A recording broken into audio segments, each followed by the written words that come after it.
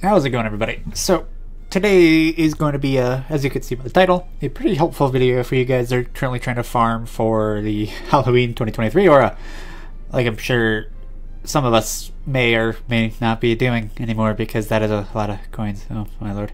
But, uh, with this method, it shouldn't be that bad as long as you have stuff you can do in the meantime. So, as you saw, this is a way to AFK farm it. And I can prove to you that after one day of AFK farming, aka I went to bed, woke, went to bed, woke up, went to work, and I just got back, and I have a grand total after all of that, one day of basically 50,000 Halloween coins. So this method does work. As you can see, I could quite literally buy everything in the shop right now, which I'm just gonna, I'm just gonna do that. I'm gonna do that real quick. Let me just do it. Let me just do it. Let me do it. Just so I have them. Because I'm going to need all of these for separate video later, which is going to be about all the outfits. Cool, that's done. Anyway, so what actually is the method? So what you're going to be doing is you're going to be needing to use one a application called Tiny Task, which I think I closed because I'm a stupid head. But I will be opening that in a second. You saw all my tabs. How dare you? Get out, get out, get your, get out of my computer. Anyway, so in order to actually do this farm, you need to basically find any group of enemies that you can kill fairly quickly and fairly easily. The group I've been farming in particular has been in Jungle Island, and it was these group of six right here. Sure, there's probably more higher groups of enemies I could farm that would give more. Like, you know, there's these guys, which are the same thing, group six. But you get the idea. So if you could find a group of enemies that are fairly clumped together in a decent number that you can kill fairly quickly, it would be a good farm to do. I'm gonna just go back to these guys because these are the ones I've been doing all day. So, I will. Uh, what you need to do is get again the program Tiny Task, which I will be pulling up uh, in a second. I'm probably gonna cut this out so you don't see more of my computer because get of my computer. Anyway, be right back.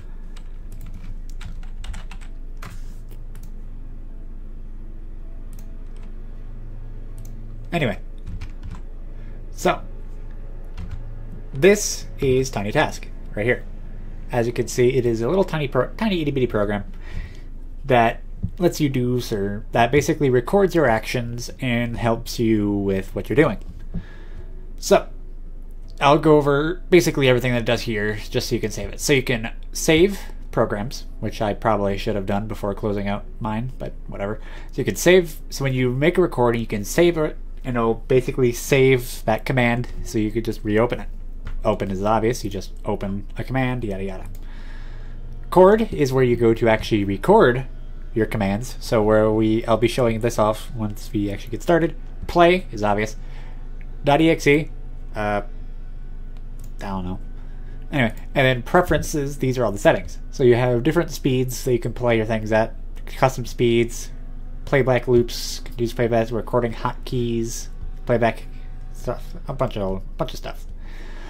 But the important thing here is I personally use continuous playback. Because sure, you could set a playback loop, which would be like you could set a manual number of playbacks you wanted to do. But unless you know exactly how long you're going to be gone for, that's kind of hard to gauge. So I just do continuous playback. Once it, uh, basically what that means is once it play hits you hit play, it just never stops. It just keeps going over and over and over again to infinity. Anyway, so how would you actually start this farm is you need two things. Well, Tiny Task is one, and then you need Hurricane Blade, which everybody has. As you can see, you basically do that, you get a bunch of coins. So how do you do this in order to actually do the farm? Well, I like to just be in Super Saiyan. You don't have to. I just like doing it because it takes less ki to do Hurricane Blade. But once you have Tiny Task open, here's an example of how you do it. So once you hit this button, it's going to record everything you do. So, record. Go back. Hurricane Blade. Charge your ki. Gotta make sure you charge your ki, otherwise it won't do it. Technically, you could stop here, but I like to do two loops just to make sure it works. So you wait for everything to respawn, and once it respawns, as you can see, Hurricane Blade again, and then charge. And now that you're back up to full, go back up here, hit stop, and hit record to stop it.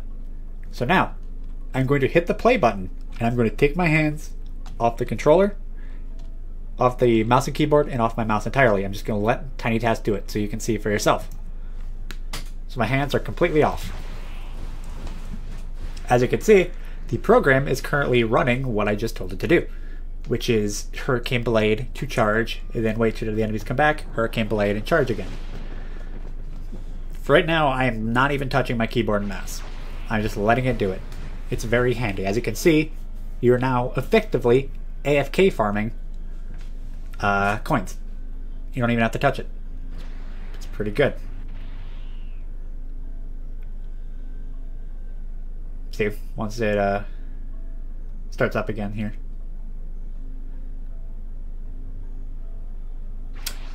Yeah, technically I messed up a little bit there. I should have changed it. I ended it before the. Uh, yeah, I ended it before the enemies came back, so that's kind of a messed up recording, but you get the basic idea.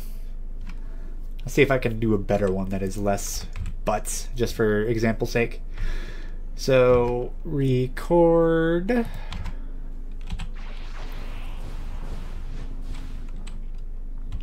Charge ki. We're just going to let everything respawn. It's going to take a minute, I guess. Then charge button, charge ki. And this time I'm probably going to wait till they respawn before I uh, end the recording again. Because I think that's the issue I had the first time. Then I go back in here and turn it off. We're going to try it again.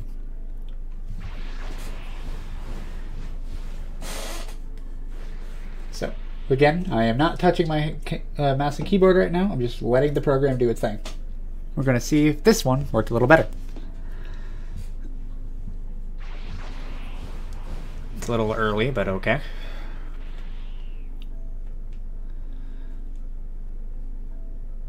Uh, let's see.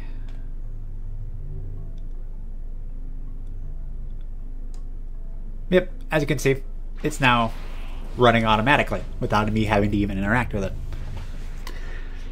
But that's the basics of how this little uh, thing works, and as you can see, you can just turn it off whenever you want.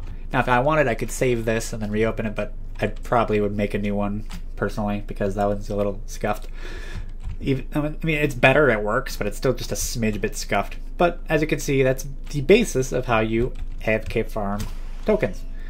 Now, if you do that for a good few hours, you end up with what you saw earlier, which is, well, this. So that's the basis of how you AFK farm these tokens.